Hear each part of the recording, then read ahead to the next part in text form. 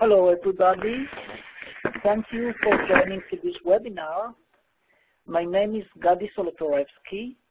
I am the CTO of cVidya. I'm also an ambassador, a distinguished fellow, and the revenue assurance team leader of the TM Forum.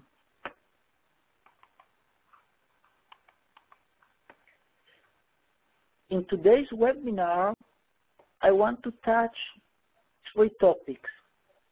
First, I want to give you some information, some statistics, some results of survey about revenue assurance from the last couple of years. Then we will speak about changes in revenue assurance best practices. And then we will speak about new business models that we are seeing today in our industry and what is the impact that they have on revenue assurance. And at the end, there will be place for questions. So if you have anything in mind, just put it on the chat and we will touch it at the end of the presentation. So let's drill down.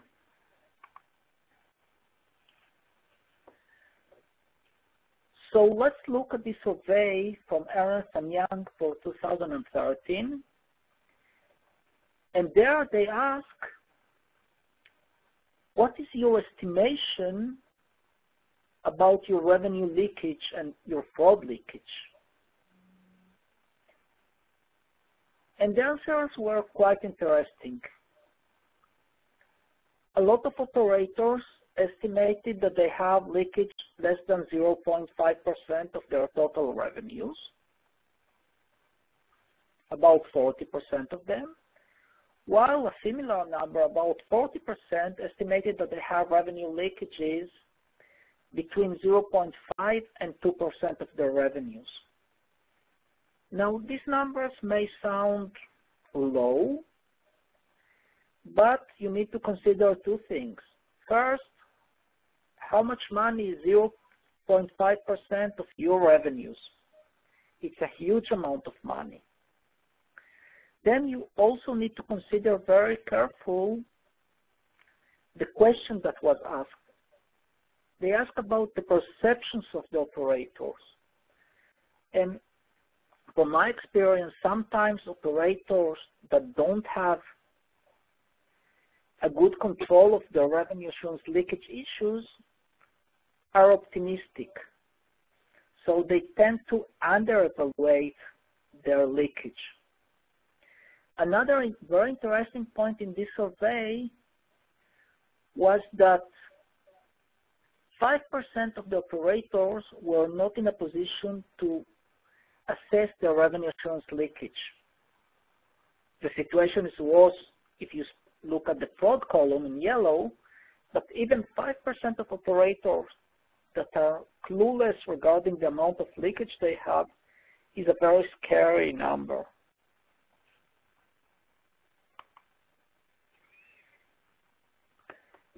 Now we can see results to a similar question asked by KPMG in our uh, survey from 2012 on the left part of the screen. And there you can see some very interesting things. First, you have a distribution according to geographical areas. And you see that geographical areas, operators in different geographical areas, have quite a different behavior.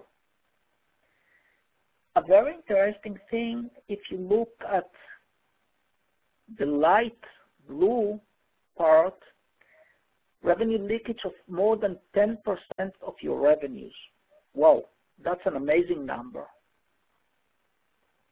If you look in the areas in Europe, in the Americas, you have 50% of the operators, 50% that believe that they have leakage over than 10% of the revenues. In Asia, 10%, and in Africa and the Middle East, 18%. Now, it's difficult for me to understand this reality because, you know, 10% of your revenues is wow. And you have it, and you are aware that you are having that leakage and you are not doing something to prevent it, sounds scary. But that's the situation according to KPMG. Now if we move to a survey on the right part of the screen by the TM Forum, we also try to investigate there what are the main causes for revenue assurance leakages. And look, let's look at the four top causes. Poor system integration, high level of manual processes, poor processes and procedures, and uncontrolled change management. So obviously, when you put your controls, your revenue assurance controls, you don't put directly a control on these, but these are the main causes for leakages. So have in mind, and we will speak about it a little bit later, that if you want to be proactive, and I will try to convince you that you want to be proactive, you need not just to look at the leakage, the control that is comparing system A with system B, but how to prevent that leakage. So have these four reasons in mind, and we'll speak about it a little bit more later, but this is really important.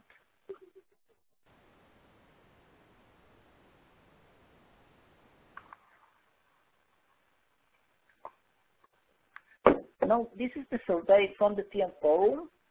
I confess it's a little bit old. It's from 2011, three years ago. But it's a very interesting survey in the sense that it's the only survey that I know that didn't ask revenue assurance managers about their estimations, but about what they actually detected.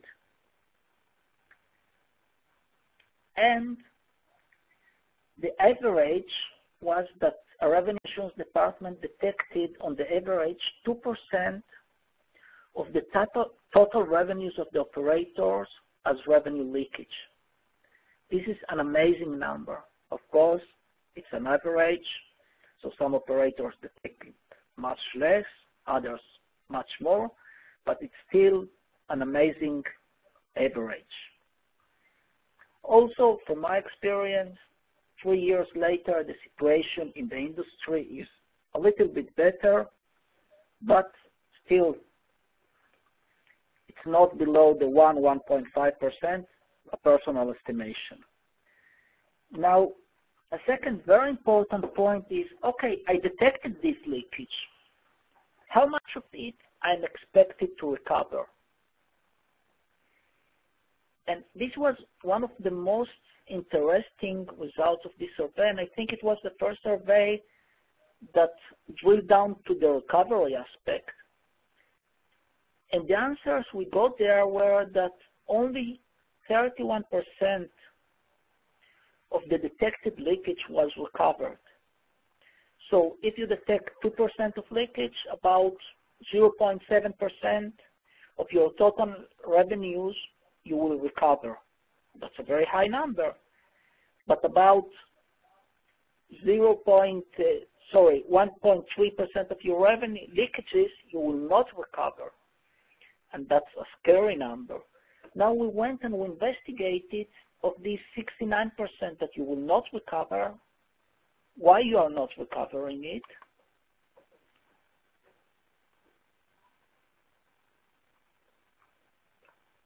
and the answers were really interesting. First, of these 70% that you are not recovering, you could recover 43%, but operators decide not to recover it. Why?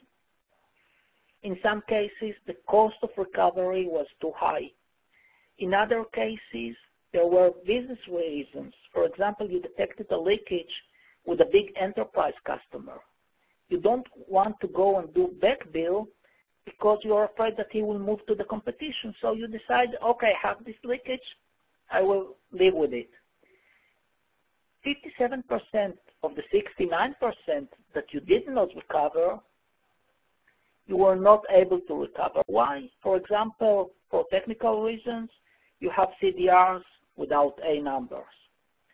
So this is very interesting, and I think that this is one of the most strong evidence for the value of preventing leakages. If you just detect a, detect a leakage, you will save 30% of what you detected. if you prevent a leakage, you will save 100% of you, what you prevented. That's a big difference.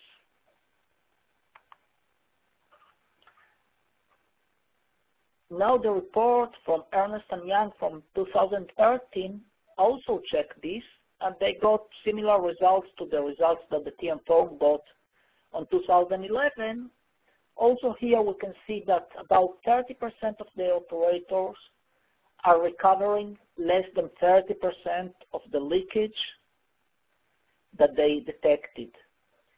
An additional 20, uh, 25% are recovering between 30 and 50% of their leakages.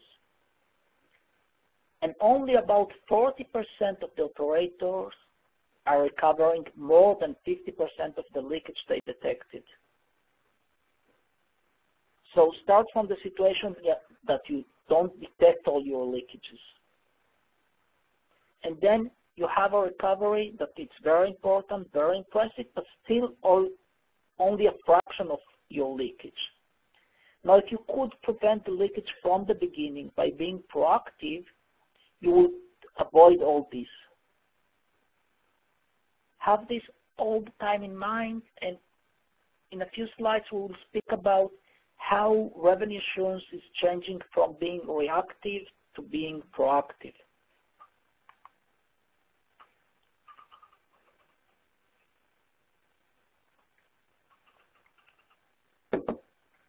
Let's look now about a survey performed by the TM Forum last year. And the TM Forum is performing surveys about revenue assurance each, each year. This year we just ended collecting the information from operators, and this year we had over 100 operators participating in it. The results will be published in two, three months. But let's look about last year results.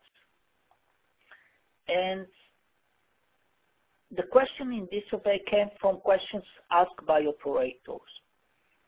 And one interesting thing that we are seeing is that today revenue assurance in most places is located under the finance department. This is not to say that it's a good location or a bad location, but this is a picture of what is happening in the industry.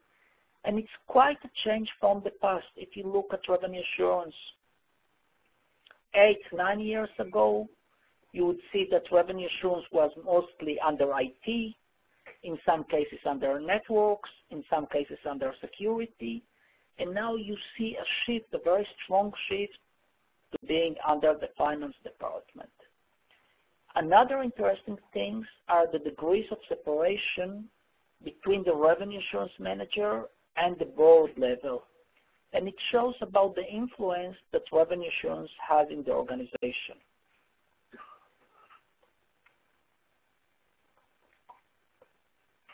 And again, if you compare it to several years ago, when revenue assurance started, you would see that the answers would be 5 degrees, 6 degrees of separation, and even more. And today we are seeing that revenue assurance managers in most of organizations are 1 degree of separation or 2 degrees of separation from the board level. And this is very important. It shows on one hand the importance that operators give to the revenue assurance activities and on the other hand, the power that revenue assurance has to do things to help the operator. So it's important to understand how it changed from the past and the powers it gives us.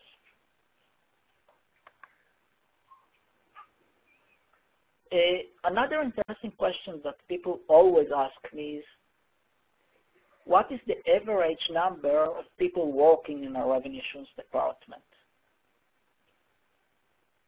And the results were interesting because we saw that there is a degree of correlation between the revenues of the operator and the volume, the number of the revenue assurance department. But you have some surprises. So you have operators with over 10 billion revenues that have a revenue assurance department of 6 to 10 people. And it's a good question if these 6 and 10 people manage to give a very good coverage of revenue assurance or not. But again, this is a picture of the situation today. But I would say that on the no, on the average, there is an increase of the of the size of the revenue assurance team. That it's related to the revenues of the operator. It changes a little bit according to the geographical areas, according to the ratio between legacy and new systems, according to the types of services, but you can see more or less this correlation.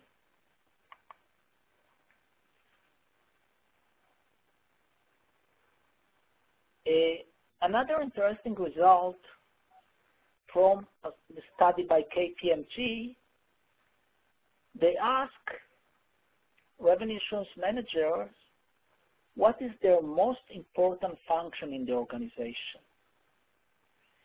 And it quite surprised me, the results here.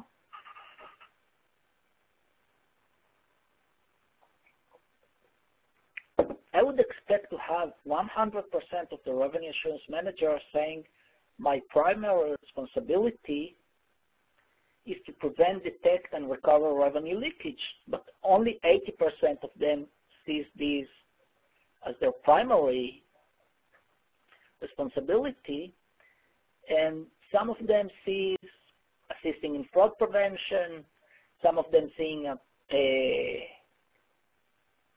proactive identification of new technologies as their primary responsibility.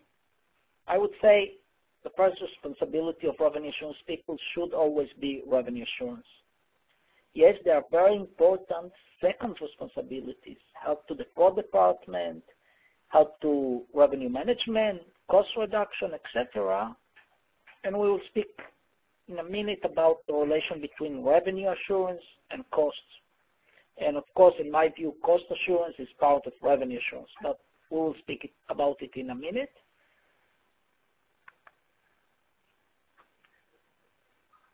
We spoke about the distribution of revenue assurance activities between reactive, active, and proactive.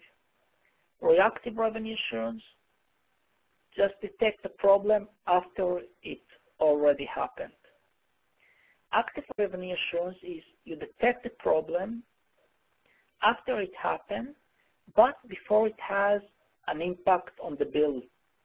For example, you detect a bad CDR, you correct it, and you inject it back to the billing system before the bills goes out. And proactive revenue assurance is about preventing the problem. Or if you detect a problem, to solve the root cause of the problem. So if you had looked at the distribution between these three types of revenue assurance six, seven years ago, almost everybody was quite reactive. Today you can see that there is almost an even distribution between the three types of revenue assurance. Revenue assurance department are investing a third of resources in reactive activities, a third in active activities, and a third in proactive activities. And the use case is very simple. By being proactive, you save, as we saw before, three times the, the money that you would save by being reactive. So it's very important to be proactive. We see also that there is a strong correlation between the degree of reactive activities and the maturity of the operators, and we'll speak later about the maturity model of the TM Forum and how it changed over the last year. So we clearly see an operator that is really very mature with regard to revenue assurance activities. It will be a, a division of almost 30, 30, 30.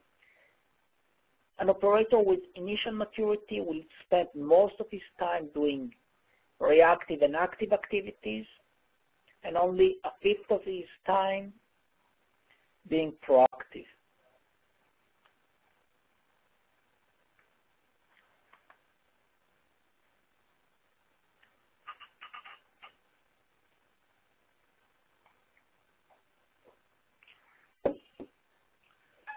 So how you can be proactive? Two key things for being proactive is being there from the design phase. Revenue assurance, in my view, should be involved in change management and should be involved in new products development. Years ago when I spoke about this, people told me, we are revenue assurance, we are about to find leakages, why we should be involved in change management, in product development. The reason is exactly if you want to be proactive, you need to be there, you need to understand the products, you need to give your input to the development of products, you need to put in place controls that will prevent problems and not wait until you have there a catastrophe. And again, we see that there is a strong correlation between the degree of maturity of operators and their involvement in change management and their involvement in a new product development. For example, if we are speaking about change management, we see that they are strongly involved over 85%. For new operators, they are no strong involvement. Sometimes they are involved not more than that. And being involved there is a key for being proactive. Being proactive is not just about placing more controls. It's not just about giving more information, but it's about checking things from day one, from the day they started to be designed.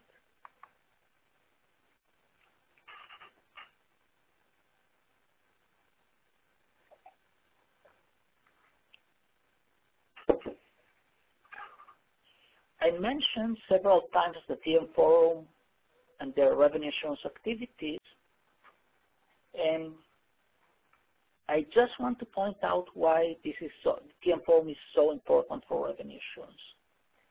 The TM Forum, over the last 10 years almost, is generating best practices for revenue assurance. It published two main documents, TR 131 and GB941. And the first very interesting thing is that these are not just theoretical documents. These are documents that are really being used by the industry. So in the survey we performed in 2012, we saw that the revenue assurance maturity model was used by 63% of the operators that participated in the survey. GB941 as a whole by 56%, and other addendums of GB941 also by large percentage, 38, 44%, etc. We'll speak about what you can find in each of these documents, and I will give you a glimpse of what changed over the last year in these best practices. So in GB941A, you can find standard revenue assurance metrics. In GB941B, you can find the maturity model. In GB941D, you can find examples of typical leakage points. And in GB941E and F, you can find the risk model for revenue assurance. And it's a very interesting model. We will not speak about it today too much. Just to mention, revenue assurance today, modern revenue assurance today, is highly related to, with methodologies that, of enterprise risk management these methodologies, the adoption of these methodologies to revenue assurance is described in GB 941E. So let's speak a little bit about the revenue assurance maturity model because it changed quite a lot in the last year.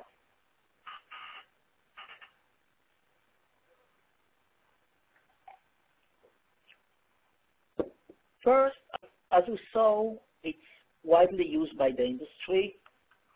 63% of the participating operators are using it. It's not just a model for scoring your maturity. It's a model that permits you to understand your capabilities and what are the recommended capabilities improvements. You can use it for internal and external benchmarking. And even though this model was very successful and many operators were using it, we decided that we need to improve it. The model was quite old, about eight years old.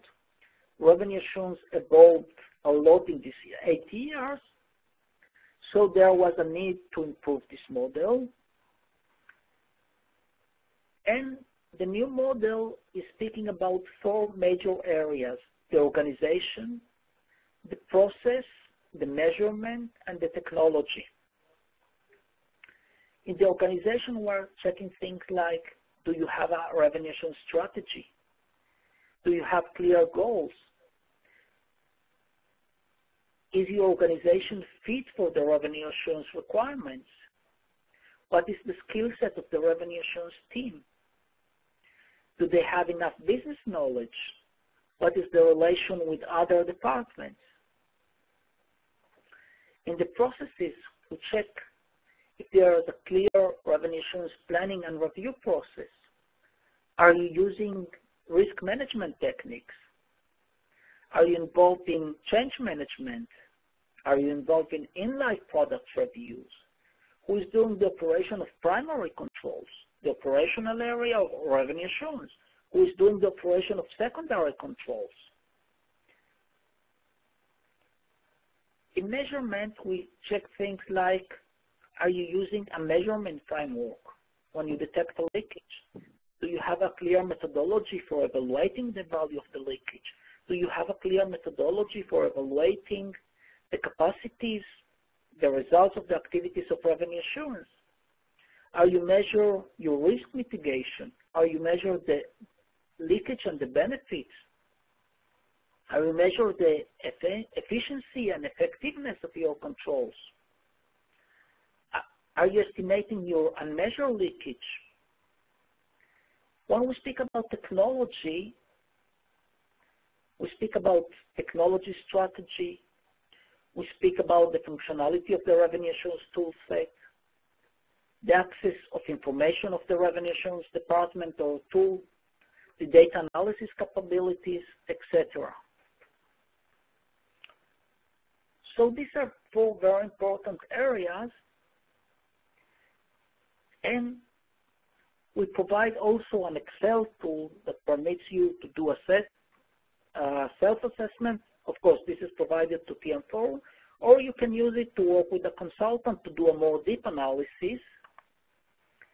And for those who were familiar with the previous revenue assurance maturity model, it was built of a small set of 50 questions, very difficult questions, with very complex answers. We changed the mindset this time. We built a questionnaire of about 500 questions, but very simple questions, very simple answers. So does our revenue assurance strategy document exist? Yes, no. What is time period does the RA strategy cover? One year, two years, etc. So it's a long list of questions, but clear, very clear, very simple questions, very simple answers. And according to that, you first can get your score, but more than that, you can see what answers will lead you to a better score and use it to build an improvement plan.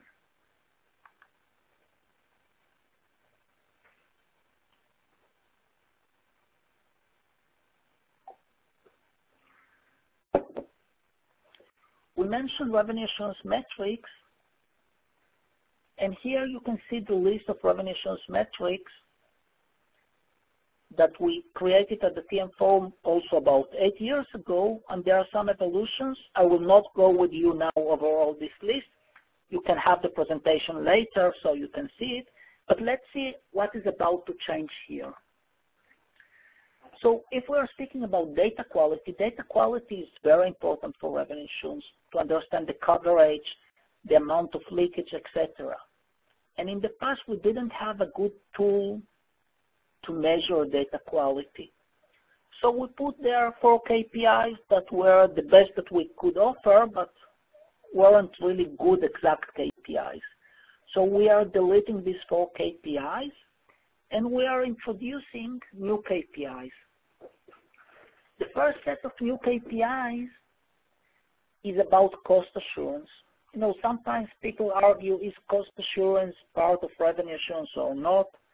For me, for cVidya, clearly, if you are not charging the correct amount or if you are not paying the correct amount, underpayment, overpayment, undercharging, overcharging, it's potato, potato. It's the same thing.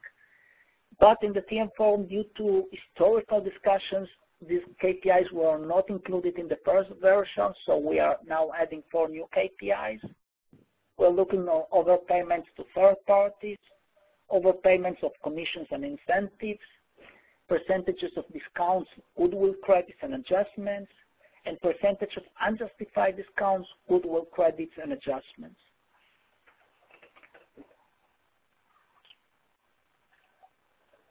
Also, a new part that is entering here instead of the data quality because it can be used to measure the same but in a better way is to measure your maturity, to measure the improvement or reduction in your maturity, to measure your risk level, and this is a very good, much more exact measure than the data quality, to measure the risk reduction as a result of putting revenue assurance controls. By the way, for me, a control is not just something that you do in MoneyMap or in a tool. Also, being part of a change process management is a control. It's a, not an automatic control. You need to send a person there to sit in the meetings, but it's also a control. And also we are speaking about revenue assurance coverage. What is the quality of coverage? What is the volume of coverage? How much of your revenue streams you are covering? At what quality? So these KPIs are quite new. They are already approved by the revenue assurance team, and they will enter to the documentation of the TM Forum shortly. So some other very new things that we are doing in revenue assurance is the relation between revenue assurance and big data analytics. And we are running a catalyst, and I will show this catalyst in an event in San Jose next week. And the idea is that the same information can be used for many applications. It can be used for marketing analytics. It can be used for revenue assurance. It can be used for fraud management. And not just by the tools of one vendor, but many vendors may put different use cases on top of the same data. And in the past, there was a vision of having a single data warehouse that will help all the applications and in most cases it did not work. It did not work for very good reasons and very justifiable reasons. I will not enter into it, but it did not work. When we are speaking about big data, the volumes of data will be huge. If I start to record not just information about calls, but also information about data, etc., it will be a huge amount of information. Now, replicating this information again and again will be very painful. So the idea of this catalyst that we are going to present next week is how we can you have a common analytics big data repository to be used by different applications from different vendors. And many operators are pushing this concept. Obviously, for the view of the operator, it's much better to have all the data one copy, not duplicated, one time to do the ETL, etc. So I'm very excited about this concept. It's really, it's a very simple concept, but it's really very new. And it will avoid data replications. It will save cost in ETL. It will save hardware. And once you have the data, you have you'll be able to implement new use cases on top of that data faster. So this is a new vision. And again, not just the same, the company using across its product, the same database, but sharing the information across uh, vendors, across use cases. I'm really excited about it. It's new, and I think that this is the direction the industry will go. And of course, revenue assurance have a central part because revenue assurance knows the information from all the directions. So revenue assurance, in my view, have a central part in defining what will go into this uh, big data analytics platform. Future trends. So we are seeing a lot of changes. I will speak about some of this more in detail in just a minute. But we are seeing that the mobile billing is becoming more sophisticated. In the past, we had very complex data plans uh, sorry, very complex uh, voice plans, very simple data plans. Today it's changing. The voice plans are really simple in most places. The data plans are becoming more and more complex. Charging complexity, platforms that combine prepaid, postpaid, in some cases for the same client, etc. So many things are coming and being different. Let's go directly to some examples.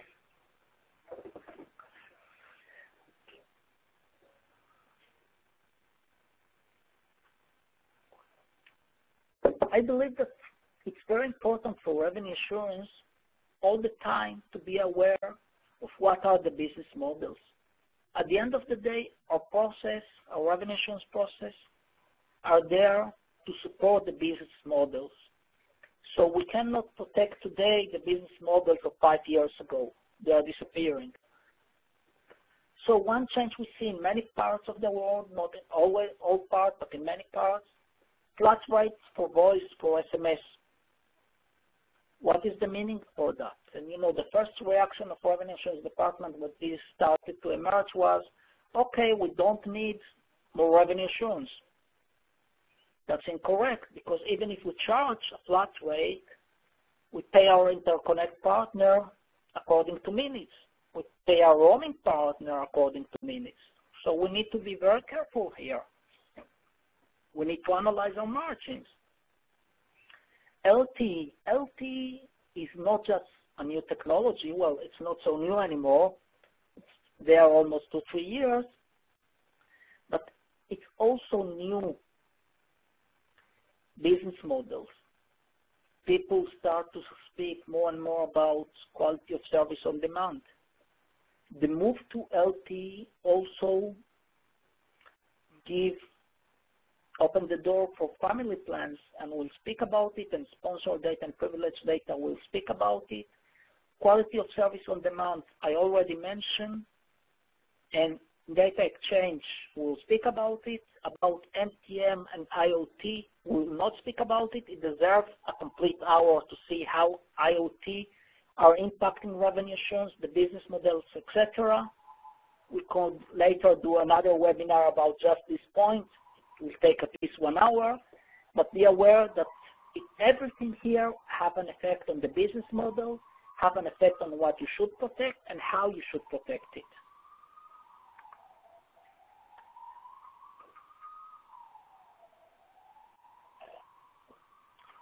So if we just look back two years ago, the first deployments of LT and many operators thought, okay, LT, a great opportunity to make more money. I will increase my rates. And we see here this example for France.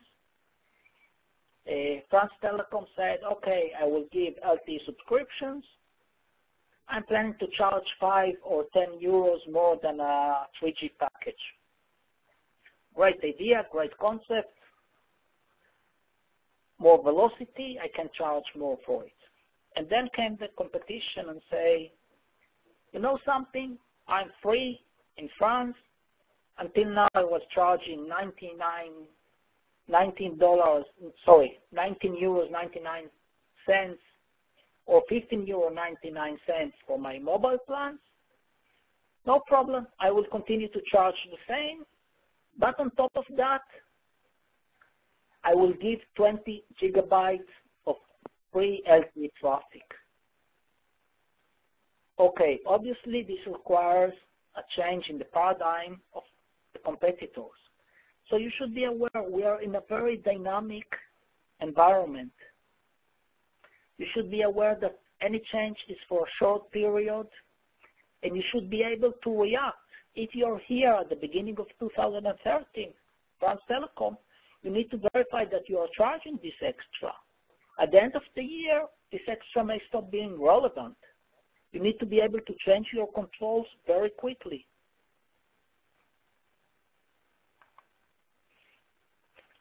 Sponsor data. Sponsor data is very new, less than one year. It's, I would say today, still an experiment, but I think an experiment not from the point of view of technology, but an experiment from the point of view of what will happen with it in the market.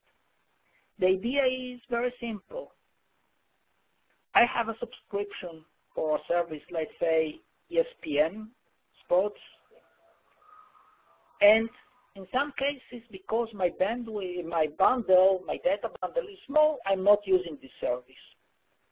So obviously, from the point of view of the server, the content provider, there is a risk that I will stop being there.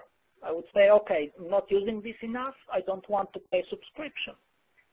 So the idea was, if I'm using this content from ESPN, let ESPN pay for this content instead of me paying for it. So this is called sponsor data.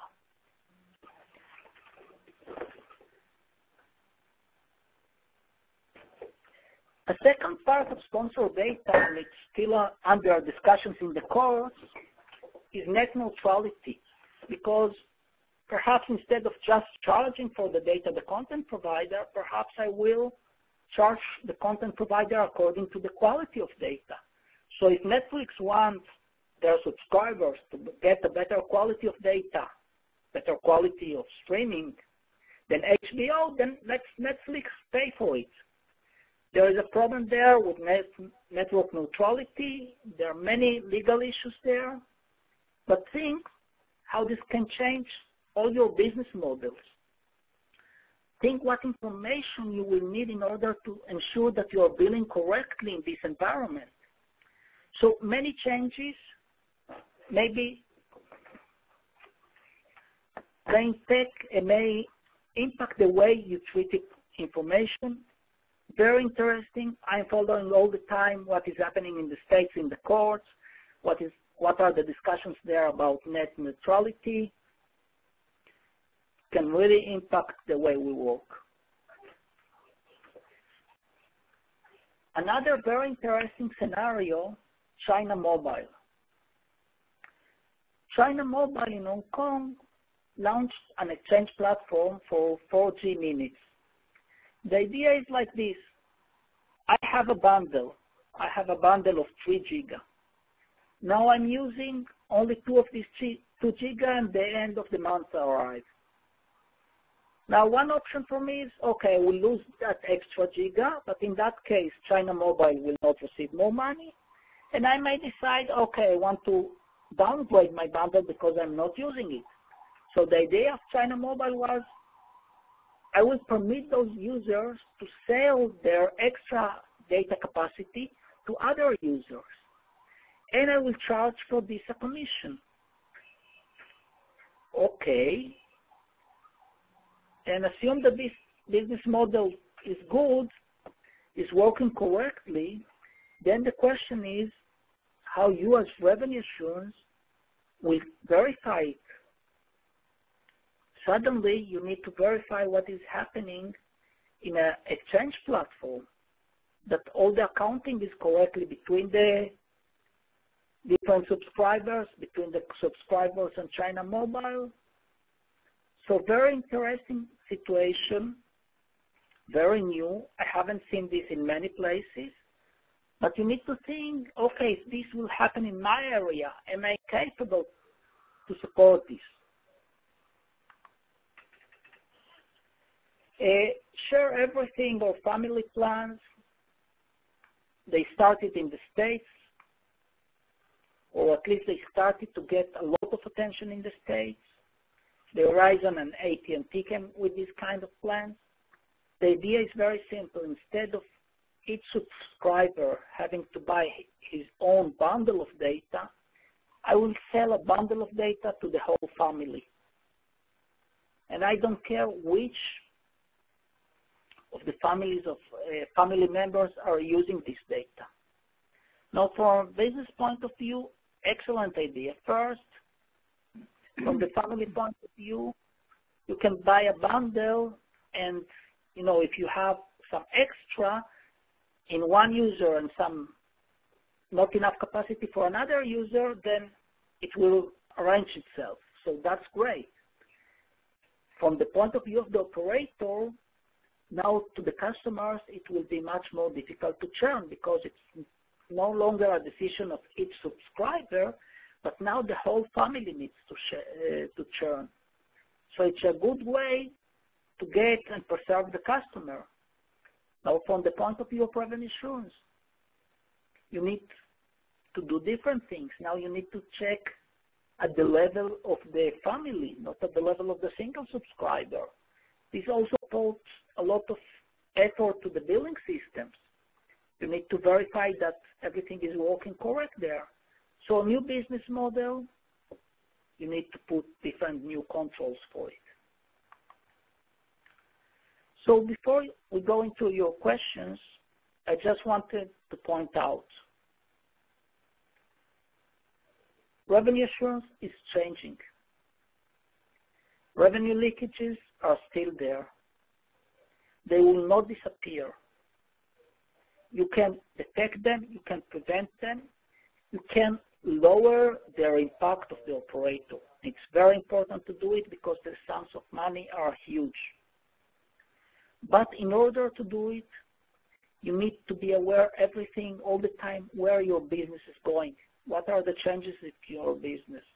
It doesn't make sense today to have very good protection for the main revenue stream of five years ago. Today, the main revenue stream that is producing you most of the money is another one. There are very good best practices, industry best practices for revenue assurance.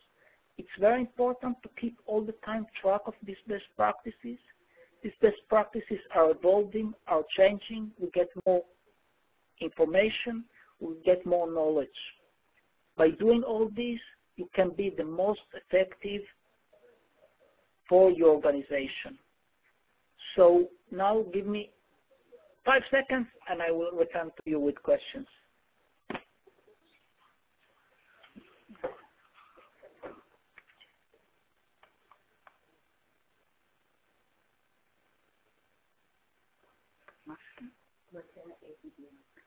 Okay, I have one question about what is the ABDR. So let me go back in the presentation.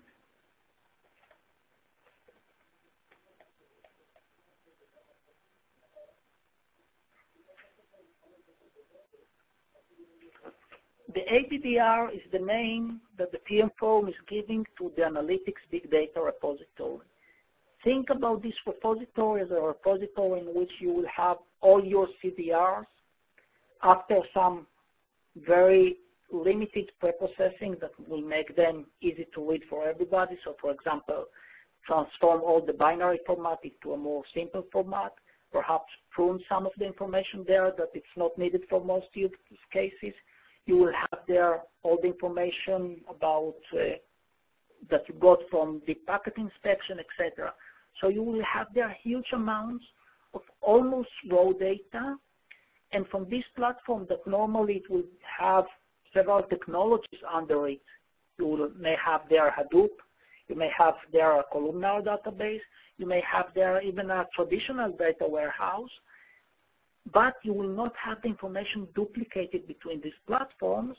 And now each new use case, each vendor that needs this information can connect to this repository can use this information to run its own application. Now, from a concept point of view, what are the big differences between this and the traditional uh, data warehouse? Normally in a data warehouse, in most places, you will clean up the information a lot before you put it there. So for revenue assurance, in many scenarios, it will be problematic because, for example, damaged CDRs, problems, etc., will not enter into the data warehouse.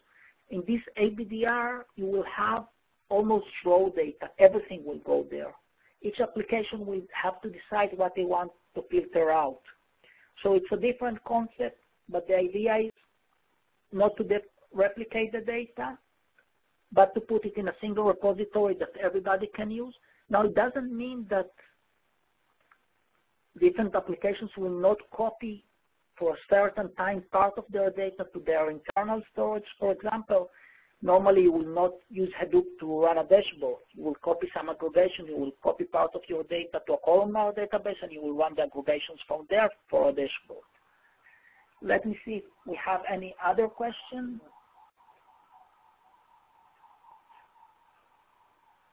Okay, we have another question about how you measure revenue assurance, the percentage of reactive, active, and proactive.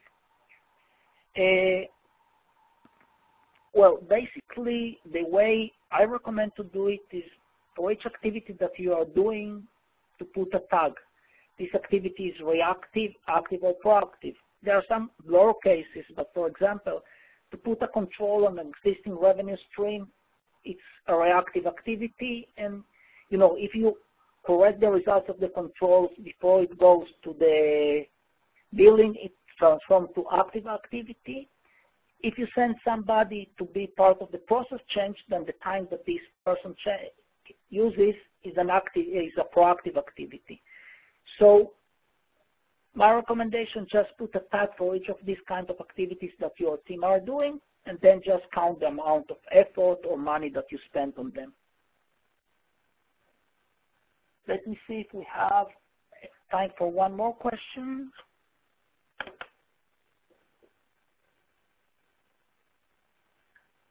Okay, how we can obtain the revenue assurance uh, best practices. Uh, okay, one way to do it is by being a member of the TM Forum and then you can get all the documents for free from the TM Forum. And I know that some of you may not know if you are members of the TM Forum or not. In that case, just send to Shai an email, ask, and I will be happy to look it for you. Another option is that in cVidya we work according to the best practices, so if you work with us, we will be happy to share with you these best practices. So I think that with that we will have to finish. But of course, if you have any other questions, just send to Shai or to me an email or pick up phone and I will be very happy to speak with you and with your team and discuss any point. Thank you very much and goodbye. Have a great day, evening, night. Bye-bye.